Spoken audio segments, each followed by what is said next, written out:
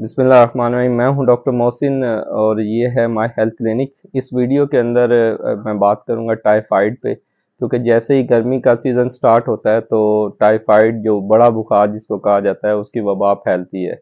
और बहुत से अफराद इसका शिकार भी होते हैं।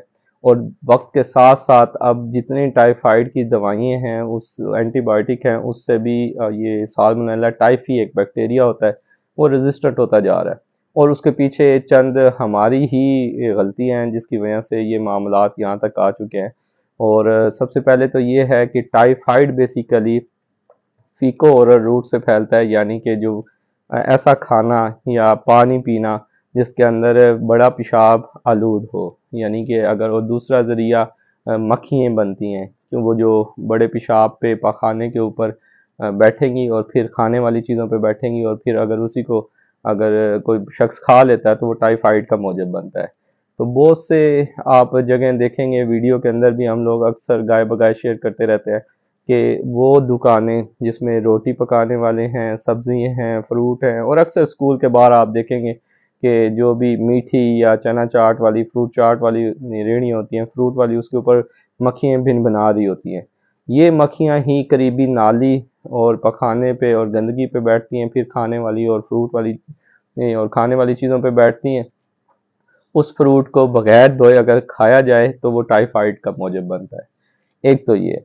दूसरा एक जो हमारे कल्चर में एक चीज़ बिल्ड हो रही है कि बहुत से अफराद जो डॉक्टर नहीं हैं और वो दूर दराज इलाकों में रहते हैं डिस्पेंसर हैं। डिस्पेंसर भी नहीं, बस वो क्वैकरी कर रहे होते हैं। तो उन्होंने एक नया तरीका ढूंढते हैं। वो ये है कि हर पेशेंट को वो क्या करेंगे कि कोई भी अगर बुखार के साथ, जिसम में दर्दें कमज़ोरी के साथ अगर कोई पेशेंट आएगा तो उसको कहेंगे कि इसका हम टेस्ट करेंगे टाइफाइड का। मैंने तो बड़ा बुखार लगता है। अच्छा वो उसकी बुनियाद पे टाइफाइड वो विडाल टेस्ट करेंगे। विडाल टेस्ट और टाइफीडॉट ये अब आहिस्ता आहिस्ता ऑप्सलीट होते जा रहे हैं। यानी विडाल है टाइफीडॉट है, ये वो टेस्ट हैं जो अब आहिस्ता आहिस्ता कम होते जा रहे हैं, जिनकी स्पेसिफिसिटी जो है ना, वो इतनी ज़्यादा नहीं है। तो उसके लिए एक्चुअल जो इसका टाइफाइड का डायग्नोसिस के लिए होता है, वो ब्लड कल्चर होता है। तो ये लोग क्या करते हैं, क्योंकि इसकी सात से चौदह दिन के इंजेक्टेबल होते हैं, वो सिंपल एक पेशेंट को जिसको टाइफाइड नहीं था, उसको लेबल करते हैं या विडाल टेस्ट करते हैं, और टेस्ट किए बगैर या उसकी रिपोर्ट पॉजिटिव देने के बाद उसको कहते हैं, जी, आपका काम है, सुबह शाम आप आएँ और हमारे से इंजेक्शन लगवाएँ। अब वो सस्ते वाले इंजेक्शन जिसकी ज़रूरत कतन नहीं थी, वो लगाया जाता है।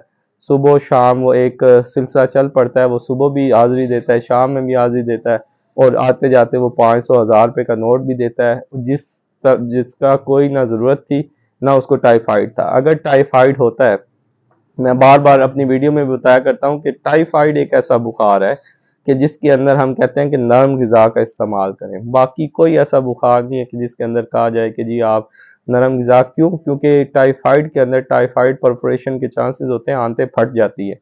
चौदह दिन तक या तो मरीज़ सर्वाइव करता है या ये बैक्टीरिया सर्वाइव करता है। और आहिस्ता आहिस्ता, क्योंकि ये हमने गलत रविश इख्तियार कर लिया अगर हमारे से वो कैनूला ना लगे तो हम गोश्त में लगा देते हैं। वो गोश्त में एंटीबायोटिक का एक अपना चौदह दिन आप रोज़ सुबह शाम इंजेक्शन लगवा रहे हैं, एक वो पेनफुल कंडीशन फिर वो तो बेचारी आवाम तो सादा होती है, लेकिन कुछ सादगी में वैसे भी होती है। कि वो अंधा एतमाद करते हैं। अगर उन्हें लग रहा है टाइफाइड है तो उन्हें अस्पताल जाना चाहिए, उन्हें प्रॉपर डॉक्टर से चेक करवाना चाहिए। ना कि उधर गली मोहल्ले में ही आप वो चौदह दिन का करें। और कुछ फैमिली ऐसी हैं या कुछ अफराद ऐसे हैं जो कहते हैं, हमें तो हर साल होता है टाइफाइड हमें तो पिछले साल भी होता है, कोई ऐसा साल गुजरा ही नहीं है। वो एक्चुअल में हर साल नहीं होता, वो हर साल उनको लेबल कर दिया जाता है।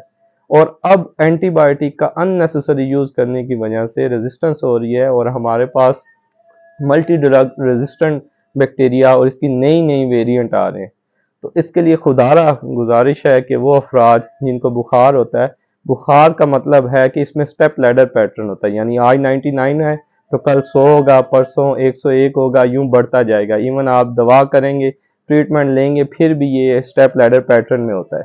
तो इसके लिए होता तो प्रॉपर एंटीबायोटिक है, उसको हाई डोज में दी जाती है। अच्छा उसके अंदर भी एक तबका ऐसा है कि अगर उनको दे दी जाए सेवन फिफ्टी मिलीग्राम एंटीबायोटिक तो कहते हैं, ओहो, बहुत गर्म दवाई दे देती है डॉक्टर साहब। अच्छा वो बताएँगे, उसके बाद फिर मेडिकल स्टोर वाले ड्राएँगे, इतनी ज़्यादा? वो नहीं, ये क्या हो गया? ये तो बड़ी गर्म है नुकसानदेह है।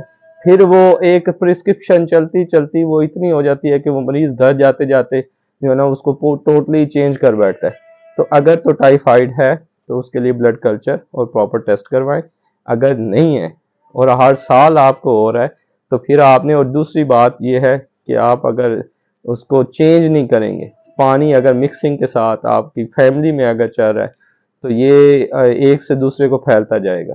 इसका जो पीछे मौजब था टाइफी जिसके नाम पे रखा गया था, उसने काफ़ी बड़ी तादाद लोग जो है उसके हाथों मरे थे। वो एक घर में काम करने वाली आया थी। जिसके पेशाब के अंदर ये बैक्टीरिया था। वो एक फैमिली के यहाँ काम करती रही तो वो पूरी उसकी फैमिली जो है वो अफेक्टेड हुई। उस फैमिली की डेथ होगी, फिर दूसरी फैमिली में चली गई कि उसी खानदान के जानने वाले कि ये हमारी उनकी सर्वेंट थी तो हम रख लेते हैं।